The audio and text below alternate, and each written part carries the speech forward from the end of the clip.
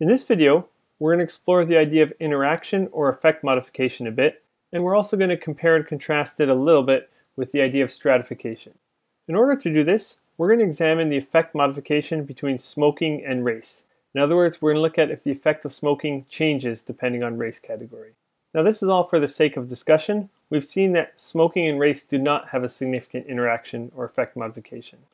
So first, I'm going to fit a model that does not have an interaction or effect modification, just has smoking and race in it. I'm going to call that M1. Then I'm going to fit M2 that includes smoking, race, and the smoking by race interaction or effect modification term. And let's look at a summary of Model 2. Now in a separate video, we're going to be working with this model and doing some calculations by hand. For now, I'm going to look at doing a bunch of stuff in R. We're going to calculate the race-specific or strata-specific odds ratios. So first, to calculate the odds ratio of smoking for whites, or race category 0, we can take the exponent of 1.7505. And here we'd see the odds ratio is 5.76.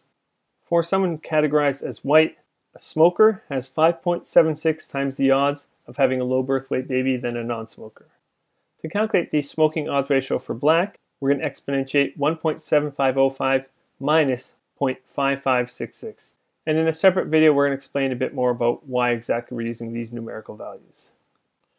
So the odds ratio comes out to be 3.3. Again, for someone categorized as black, a smoker has 3.3 times the odds of a low birth weight baby than a non-smoker. And the odds ratio for other will be 1.75 minus 1.52. Odds ratio of 1.25. Again, for someone categorized as other, the odds of a low birth weight baby for a smoker are 1.25 times the odds of a non-smoker, or 25% higher. And just to remind ourselves, the model that we fit that adjusted for race but did not have effect modification, M1 is what we called it. If we exponentiate the coefficient for smoking, which is 1.11, that's going to give us the race adjusted odds ratio for smoking. But again, no effect modification. It assumes the effect of smoking is the same for all race categories. If we exponentiate that, we'd find the race adjusted odds ratio is 3.05. Now, sometimes in intro epi courses, you'd learn to compare the race adjusted odds ratio to the odds ratio when you stratify based on race, and this can help you decide about effect modification. We're going to explore it in a slightly different way.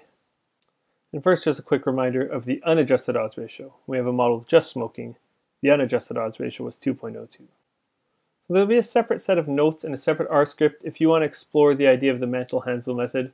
We're not going to talk about it much directly in the course, but it'll be a side topic that we'll touch on, and if you want to explore it a bit further, there will be some materials there for you to do so.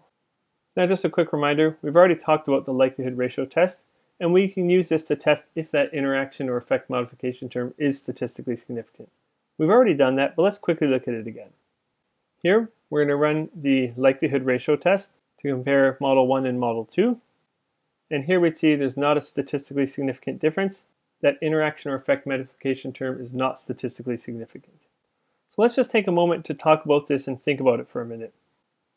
What we found was that when we let the odds ratio change depending on race category, it was 5.76 for white, 3.3 for black, 1.25 for other. In our test saying that the effect modification is not statistically significant is essentially saying that these three odds ratios are not significantly different from each other, and we're better off using the weighted average of them, or the 3.05. So let's think a bit about why on the surface these might look quite different, but statistically they're not significantly different. So to do so, first I'm just going to take a look at a table of race. And we can see in our sample we have 96 white, 26 black, 67 other. Okay, so these are actually smallish sample sizes. And if we take a look at the table, the joint distribution of race and smoking, we'd actually see for whites, there's 44 non-smokers, 52 smokers. For blacks, 16 non-smokers, 10 smokers. For other, 55 non-smokers, 12 smokers. Okay, so just to repeat that, for blacks, we actually only have 10 smokers that we're basing our odds ratio on. And for other, we only have 12 smokers that we're basing those odds ratios on. So you can imagine the confidence intervals for those are going to be pretty wide. Now let's take a look at a table if we stratified by race. So what we're going to do here is slightly different. It's not fitting effect modification, it's addressing effect modification through stratification rather than modeling it. But modeling effect modification or addressing it through stratification are two slightly different approaches at getting at the same problem. So the first thing I'm going to do here is I'm going to create a 2 by 2 table. and we look at smoking only for race zero. So look at smoking for white and low birth weight for white. So let's look at that table here. So this is the 2 by 2 table. And remember, the x variable was smoking, the y variable was low birth weight. So here we see four whites, these are the 44 non-smokers and the 52 smokers. And this is the 2 by 2 table of smoking versus low birth weight only for race category 0 or whites. If we calculate the odds ratio for this, remember a short way to do it is the AD over BC. So 40 times 19 over 33 times 4. So the odds ratio of 5.76. Now, let's do the same. Let's look at the 2 by 2 table of smoking versus low birth weight only for black. Okay, again, we can see pretty small sample sizes here, pretty small cell counts. We can guess the assumptions for building the confidence interval around this odds ratio are probably not even met.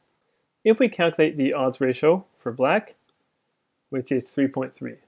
And again, if we create the 2 by 2 table for other, again, we can see some pretty small cell counts.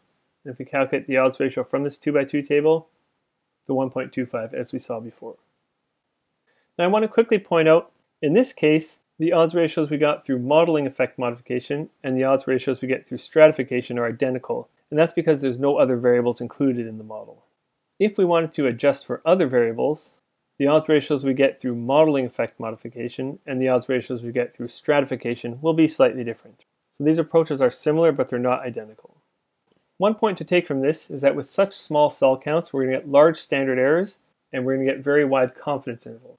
We can imagine the confidence intervals around these odds ratios are probably going to overlap and not be statistically significantly different. Now I just want to say here, if your question of interest was really to try and get at does the effect of smoking on low birth weight actually change depending on race category, you might want to design your study a little bit differently. We've noticed here our sample sizes in each race category are too small. So our data is not really adequate for addressing this question if we thought it was a question of interest for us.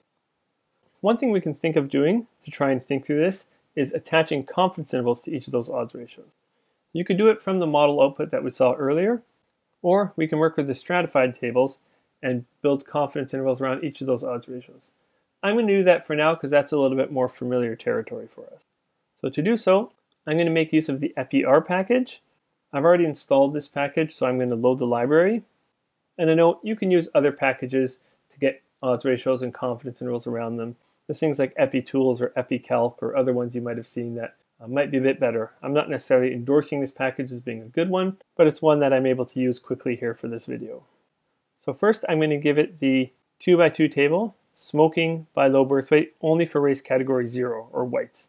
And then we use the epi 2 by 2 command this is going to create the 2 by 2 table as well as a bunch of output around that. So let's take a look at that here. Now we can see from the output, we get that 2 by 2 table. We can see here's the 44 non-smokers, and here's the 52 smokers. So this is the same 2 by 2 table we produced previously. We can see we get the odds ratio of 5.76, which we've already calculated. The 95% confidence interval around that. We're 95% confident that the odds ratio smoking for white category is between 1.78 and 18.6. It's quite a large range. And again, that's due to the small sample sizes that we saw. Let's look at the same table, but for race category 1 or black. Here we can see the odds ratio comes out to be 3.3, as we calculated before. 95% confidence interval of 0.63 up to 17.16. And finally, if we calculate the confidence interval for the odds ratio for other category, can see it comes out to 1.25, 95% confidence interval between 0.35 and 4.46. And we can note all these confidence intervals overlap, right? We're not convinced that they're significantly different from each other. So this matches the conclusion we saw earlier that the interaction or effect modification was not statistically significant. We're not convinced that these three odds ratios are statistically significantly different from each other. And that's the same thing we see here with these overlapping confidence intervals. Now in the code here, there's a little bit for you to explore on your own if you'd like. It's looking at effect modification between smoking and age. Again, looking at does the effect of smoking change depending on age. Spoiler alert, it doesn't, but this is going to allow us to explore effect modification between a categorical variable and a numeric variable, just to see what that looks like. So there's some code here that helps you work through that and explore that on your own if you want to see that a little bit more.